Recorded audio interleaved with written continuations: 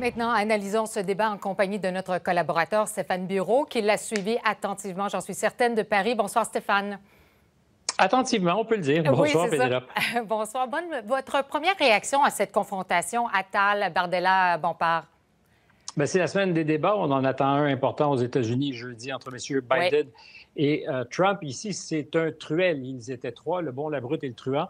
Je dirais que c'est aux partisans de décider qui incarnait chacun des rôles. Dans ce cas-ci, M. Bompard pour le nouveau Front populaire, la gauche et même l'extrême gauche, donc réunis sous une bannière. Euh, Jordan Bardella qui représente euh, la droite.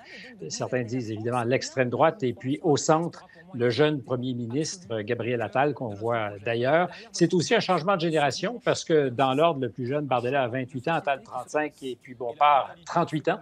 Donc, de, de nouveaux visages, même s'ils sont déjà bien aguerris. Première partie de débat consacrée aux chiffres c'était un peu cacophonique. Euh, il n'y a pas vraiment de gagnant dans de pareilles circonstances. Mm. Sinon, que Gabriel, Gabriel Attal, qui est en parfait contrôle de ces chiffres, a assez bien fait sur le fond. Sur la forme, avait l'air par moments professoral. C'est d'ailleurs ce que lui reprochait son adversaire euh, Bardella. Euh, reprochait aux deux extrêmes, gauche et droite, de faire des promesses de manière irresponsable. Le problème de Gabriel Attal dans les circonstances, c'est que le déficit du gouvernement de la Macronie en 2023 est de 150 55 milliards d'euros, 5,5 du PIB. C'est très, très lourd. Alors, il est difficile d'incarner, je dirais, la frugalité dans de pareilles circonstances et de dire à ses adversaires, vous avez des promesses que vous ne saurez tenir. En fait, le problème d'Attal, en toutes circonstances, c'est qu'il a la, bonne ligne, souvent le bon ton, euh, mais on le sait, le patron, le vrai, c'est M. Macron et les Français ne veulent plus l'entendre Macron. Donc, ça, ça, défavorise beaucoup Attal, qui, évidemment, dans un contexte législatif, mène la bataille. Oui, parce qu'il a peut-être le bon ton, il n'a peut-être pas le bon bilan. Maintenant, parlons de la question de la binationalité. Ça a retenu l'attention, ça, au cours du débat? Bien, évidemment, la question de la sécurité, immigration, euh, l'insécurité en France, c'est des thèmes importants. On pourrait imaginer que ce l'est aussi dans un contexte nord-américain si on devait avoir des élections. Euh, et dans ce cas précis, euh, c'est en général ce qui sert très, très bien le, Front national, je devrais dire plutôt le Rassemblement national, beau lapsus. Et Jordan Bardella a été un peu mis dans les cadres parce qu'il avait dit hors de question que nous donnions des jobs de haute responsabilité à des gens qui ont la double nationalité. Il y en a quelques millions en France.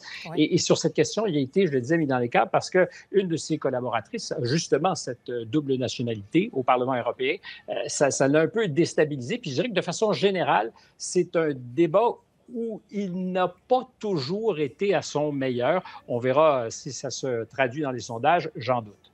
Bien justement, parlons-en des sondages, parlons des intentions de vote. On est à quelques jours du premier tour des élections.